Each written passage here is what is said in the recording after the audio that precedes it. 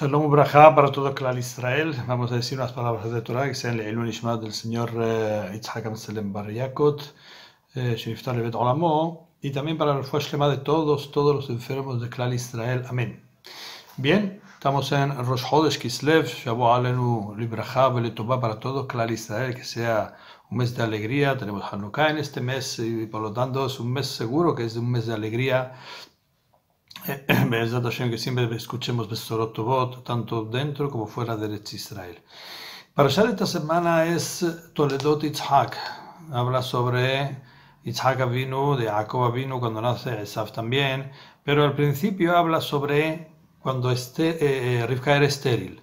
Muy bien, vemos que Abraham, Yitzhak eh, y, y, Rivka hacen tefilá, y la Torah dice, vaya a etarlo. Akadosh Baruj dice que le responde a quien a Yitzhak, a la de Yitzhak.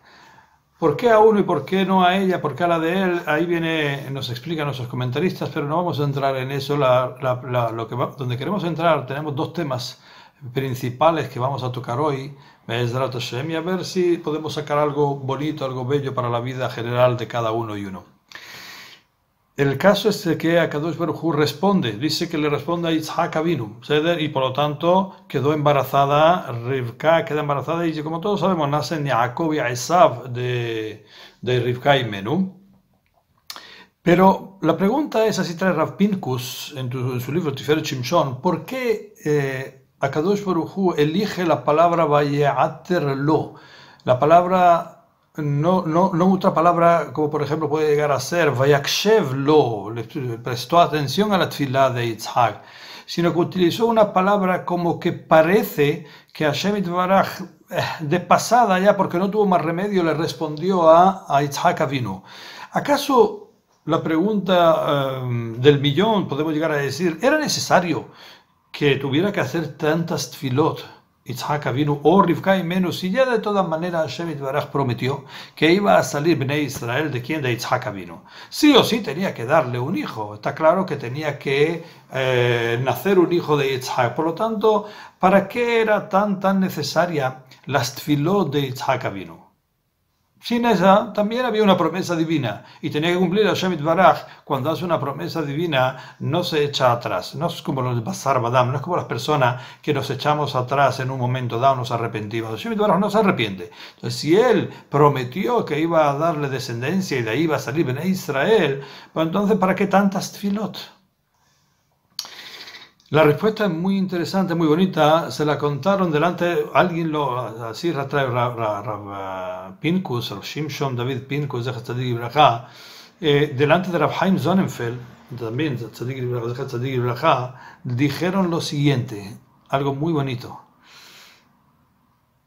Eh, Abraham vino en el pasuk eh, en Bereshit, en la parasha de Lech en Bereshit no, en la parasha de Lech cuando dice que se irá a Besebat Toba, Batikaber Besebat Toba, Hashem le promete a Abraham vino que se iba a enterrar con buena vejez. Dice Rashi ahí que Hashem le promete en esas palabras a Abraham vino que iba a ver la chubá de su hijo Ismael en vida. Quiere decir que iba a morir con satisfacción, de una manera placentera, sin sufrimiento, que no iba a sufrir en su vejez. Abraham vino. Y para que él no sufriera, tenía que ver que su hijo Ismael hizo chubá. No podía ver tampoco el sufrimiento de, o la maldad de su nieto Esa. ¿Por qué? Porque había una promesa divina. Akadosh Baruchu, por cuanto que le prometió a Abraham vino que iba a tener una vejez placentera sin sufrimiento, no intentó, sino que lo que quiso era de que no naciera todavía Esab para que Abraham vino pudiera completar sus años. Sabemos que Abraham vino muere cinco años antes de su tiempo, el que a Kadosh Baruj le otorgó de vida. Y cinco años antes de ese tiempo, Abraham vino muere. ¿Por qué? ¿Por cuánto? Que nació Esav y Esav empezó a hacer sus fechorías justo, justo en ese momento, en el momento en que ya, en el momento en que ya era consciente, y era justo el momento en el que Abraham vino fallece. ¿Por qué?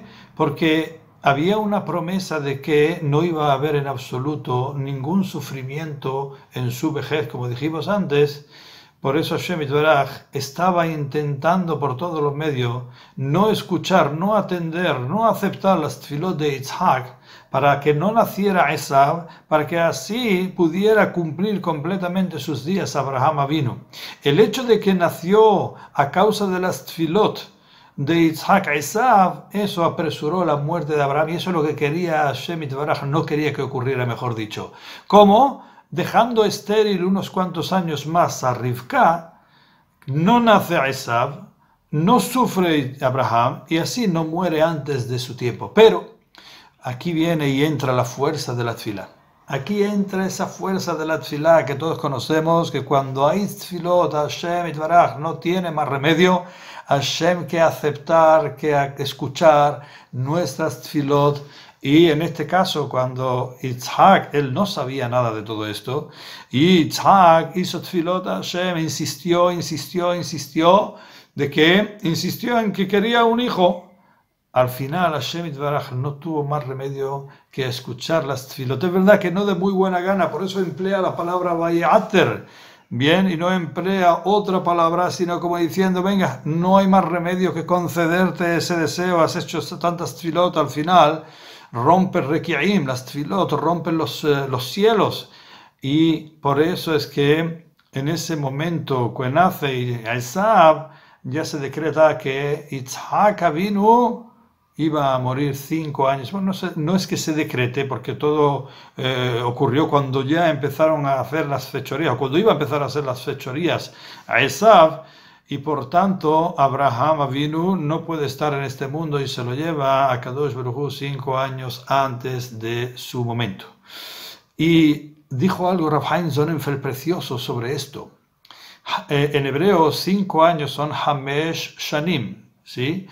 Hamesh Shanim tiene en Gematria la numeración, si sumamos las letras, 748. Y Vayeaterlo Adonai si sumamos las letras, también suman 748.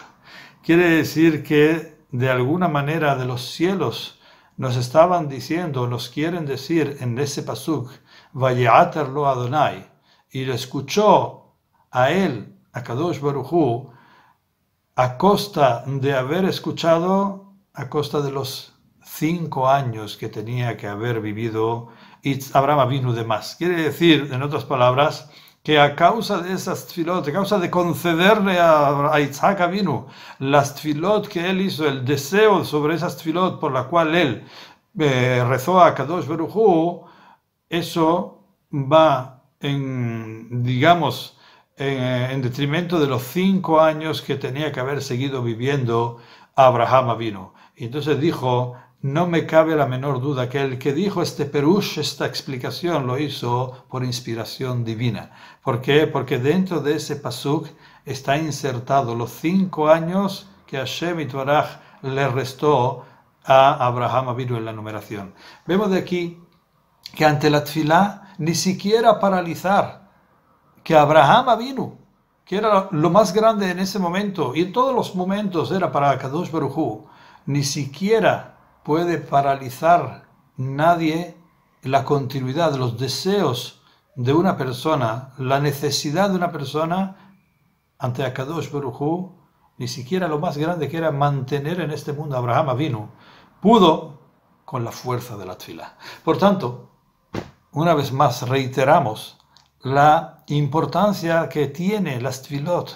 Todo el mundo lo sabe ya, muchas veces se nos olvida y muchas veces bajamos los brazos y lo que tenemos que hacer es nunca, jamás, jamás, un yudí no baja los brazos, seguir insistiendo haciendo tfilot, seguir insistiendo en pedir a Shemit Baraj. No se sabe cuántas veces es necesaria la tfila, pero ya hemos visto a través de la historia, a través de, no, no, hablamos de gente menuda, de gente grande. Moshe Rabbeinu 515, Yitzhak vino aquí, insiste, insiste, insiste, y al final Hashem incluso que se tiene que llevar a Abraham vino, que es lo que quería evitar, y por eso es que alargaba la esterilidad de Rivka y Meno, pero no pudo mantenerla más a causa de la insistencia de las tfilot de Yitzhak Avinu. Vemos la grandeza de la tfilá.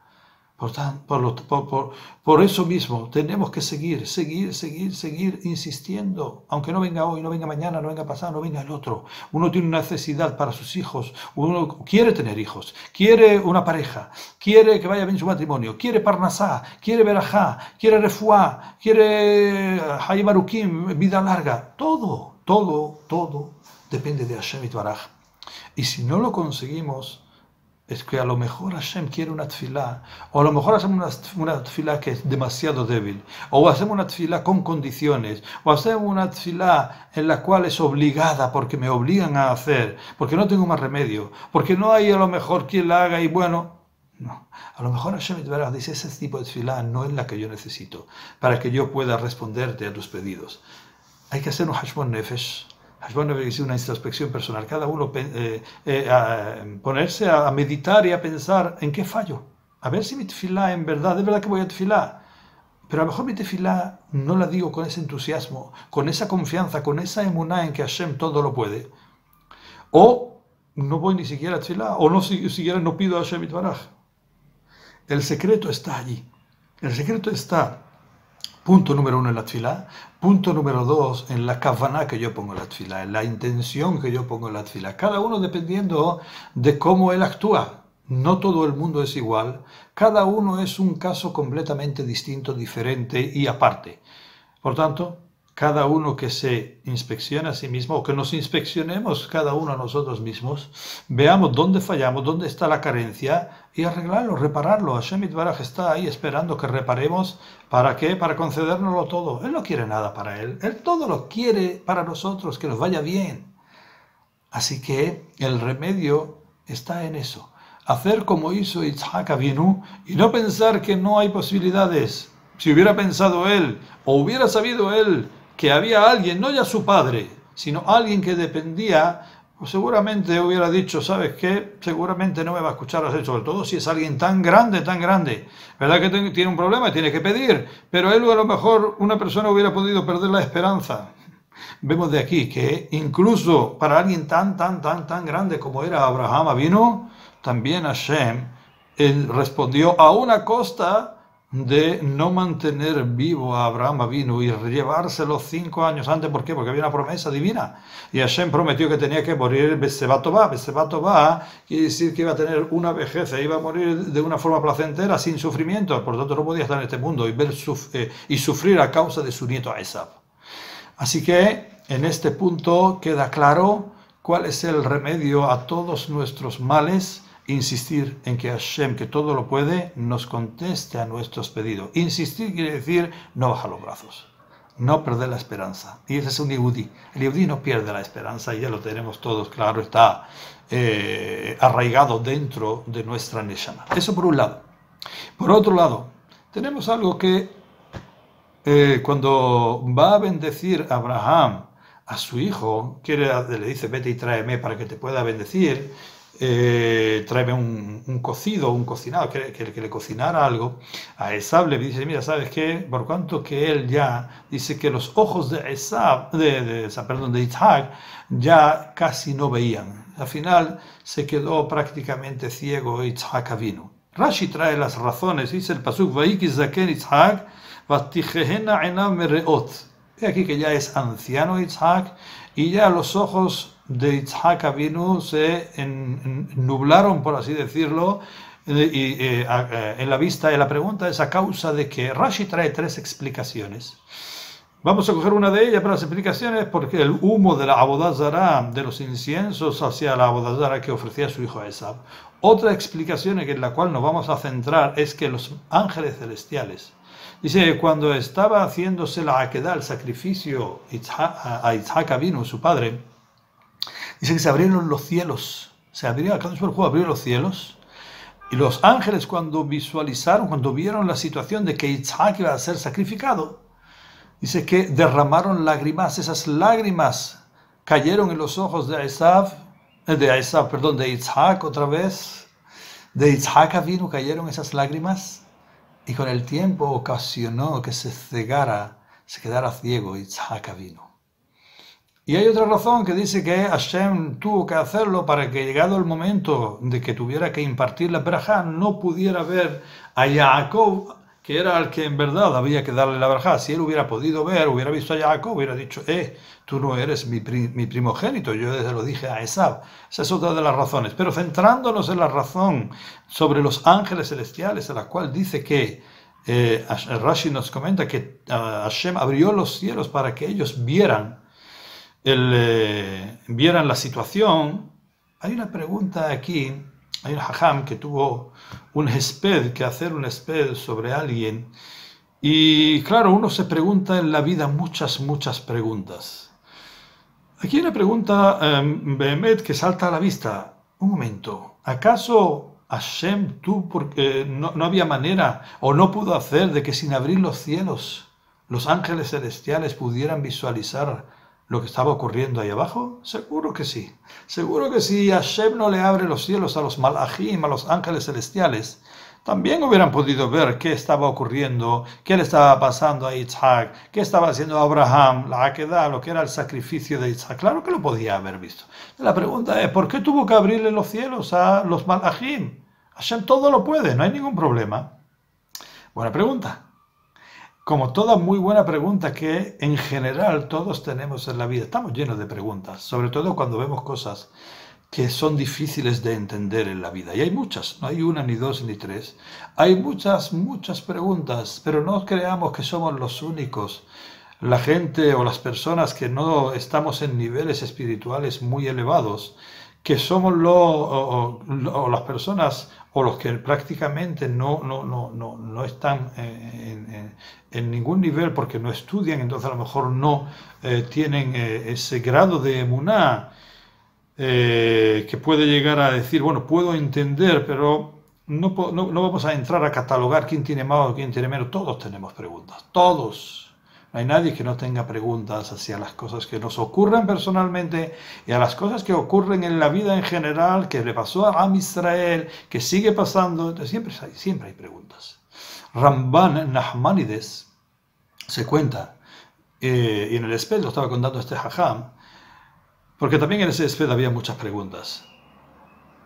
Y trae la historia real que ocurrió con Nahmanides, que tenía un alumno, perdón, tenía un alumno que, Dios nos libre, ya estaba por irse al otro mundo, tenía una enfermedad muy grave, estaba por irse al otro mundo, el alumno lo tenía asumido, Rambán lo sabía al 100% y de una forma muy delicada, claro está. Rambán le dijo, Maimónides no, era Nahmanides, Rabbi Moshe Bar Nahman, nacido en Gerona, en España, bien uno de los grandes de la Torá y uno de los grandes eh, del pueblo de Israel. Entonces le dijo él, tenía una fuerza eh, de, de, Torah, de un Ruhaniyut eh, impresionante. Y tenía la capacidad y la fuerza para hacer lo que hizo, que voy a narrarles ahora. Él le dijo a este alumno, por supuesto, vuelvo a reiterar de forma muy, muy delicada, muy, para no, por supuesto, ofender ni, ni hacerle daño a, a, este que ya se marchaba para el otro Golam, le dijo, mira, te voy a poner unos nombres en este papelito y te van a enterrar con él en la mano, lo vas a llevar en la mano. Cuando llegues ahí arriba a los cielos, vas a mostrar este papelito, es un tipo, tipo, vamos a llamarle una kmiá, amuleto, vamos a llamarle así, así, que llevaba unos nombres especiales, porque en la Kabbalah, Moshe Bar era muy, muy, muy experto, muy eh, metido, muy grande en Kabbalah. Y le dijo, cuando llegues ahí, enseñarás este papel, te van a abrir todos los portones hasta poder llegar al trono celestial de Hashem. Y quiero que en ese momento preguntes todas las preguntas que te voy a enumerar en esa lista que tienes que vas a llevar contigo. Ocurrió lo que ocurrió, este muchacho se marchó al otro olam, al otro mundo, y después de los siete días se le aparece a Ramban tal como predijo, tal como dijo, y le dijo Nun, cuéntame. Le dijo Jajam, tal como usted me dijo, así ocurrió. Llegué al otro olam, al otro mundo, y enseñé el papel con todo lo que usted puso allí. Es verdad, se me abrieron todas las puertas y llegué hasta el trono celestial. Pero en ese momento no tenía nada que preguntar. Y no es porque no tenía el papel que se me había perdido, se me había olvidado o no, me, no lo enterraron con él. Dice, porque en ese momento allí, una vez que estás allí, si ya no hay preguntas en absoluto que hacer. Está todo, todas las dudas y todas las preguntas automáticamente ya están contestadas. Esto es un hecho real. Dijo Ramban, le dijo, esa era la respuesta que yo estaba esperando de ti.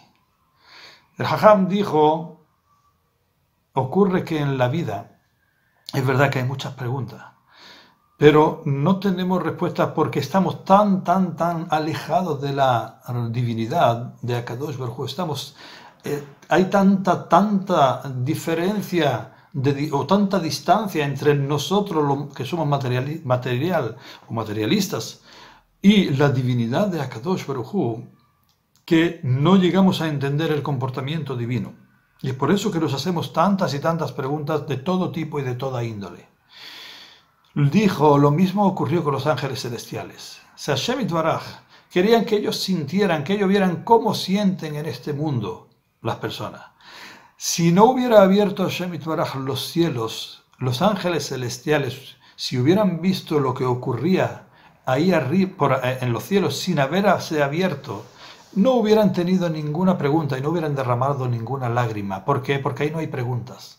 Hashem Baraj, para que los ángeles celestiales pudieran entender cómo vivimos los humanos aquí abajo, cómo sentimos, por qué preguntamos, tuvo que abrir los cielos para que los ángeles celestiales vieran la manera materialista que hay en este mundo y sólo así hubiera, era la única manera que ellos sintieran pena y se preguntaran preguntas cuando, cuando abrió Hashem los cielos y vieron por debajo de los cielos lo que es el materialismo, entonces era la única forma que ellos podían sentir pena y hacerse preguntas y la única manera de que pudieran derramar lágrimas era así, viendo el mundo material, el mundo de aquí abajo, porque ahí arriba no hay ninguna pregunta que hacer a Kadosh Baruj y todo es entendible. Por eso tuvo que abrir los cielos para que los ángeles celestiales pudieran derramar de lágrima. De otra manera, por supuesto que nunca lo hubieran hecho, puesto que allí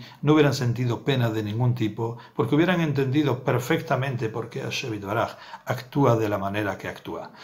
Dicho esto, si tenemos esa emuná en Akadosh Baruj no digo que sea fácil, está claro que sí es fácil hablar pero no es fácil a la hora de actuar.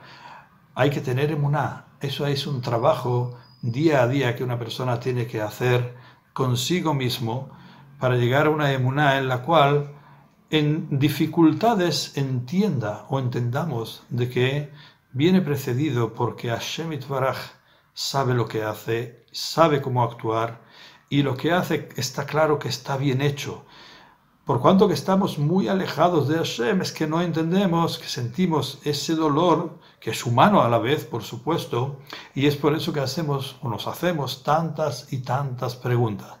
Pero a mayor nivel de emuná, menos preguntas. Seguramente no llegaremos al nivel de Ramban, y está claro al nivel de los malachim, de los ángeles celestiales, pero a mayor nivel, vuelvo a reiterar, si subimos cada vez un escaloncito más, en vez de tener a lo mejor mil preguntas, podremos tener 900. Habremos, nos habremos ahorrado la dificultad, la pena, la pena de esas 100 otras preguntas. Pongo como ejemplo, claro está.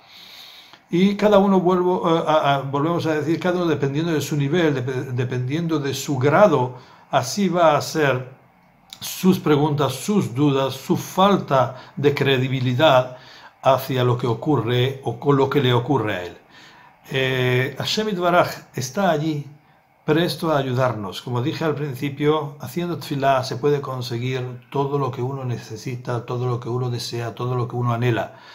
Probemos eso, de verdad que funciona, garantizado que funciona.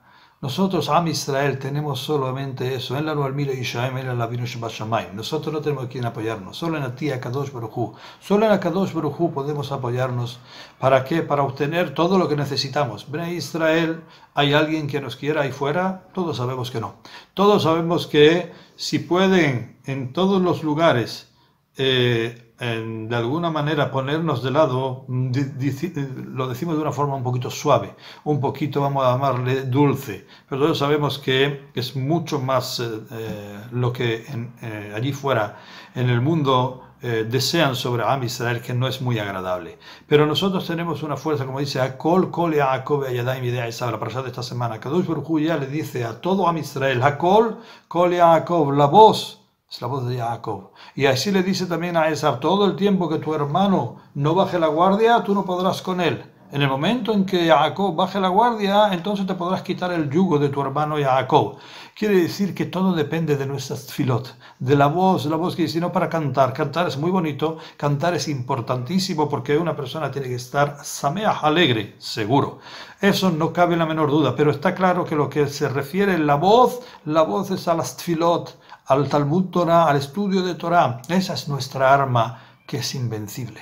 Nadie puede con nosotros cuando nosotros utilizamos la voz. La voz quiere decir el tehilim, el, estudio de Torah, las tfilot que nosotros hacemos Shemit Todo eso, si nosotros, todo Am Israel, utilizamos ese arma, nadie, nadie en el mundo puede hacer daño a Am Israel. Y por cuanto que está en nuestras manos hacer eso, de forma individual y de forma colectiva, utilicemos ese arma de forma individual para las necesidades personales de cada uno y de forma colectiva para las necesidades de todo Am Israel. Porque todo podemos ayudar a todo Clan Israel con nuestras filot, no solamente a nosotros. Si hacemos fila por nuestros soldados, eh, ¿sí? para que ninguno caiga, para que ninguno eh, salga herido, también podemos influir en ello.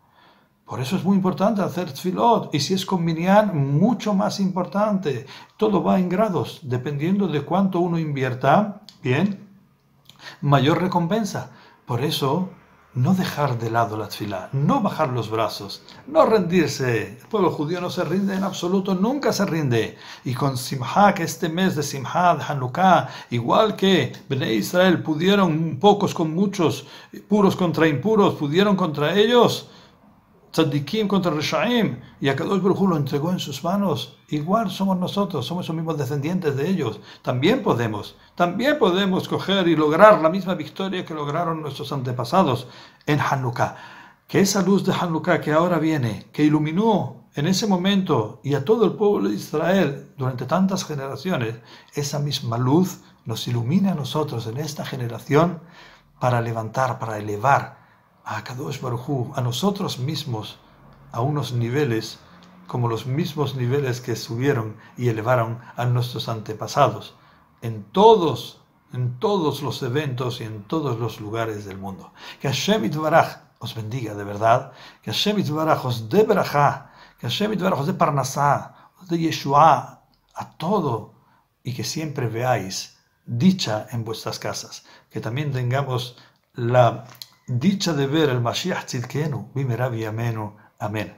Shabbat Shalom y a todos.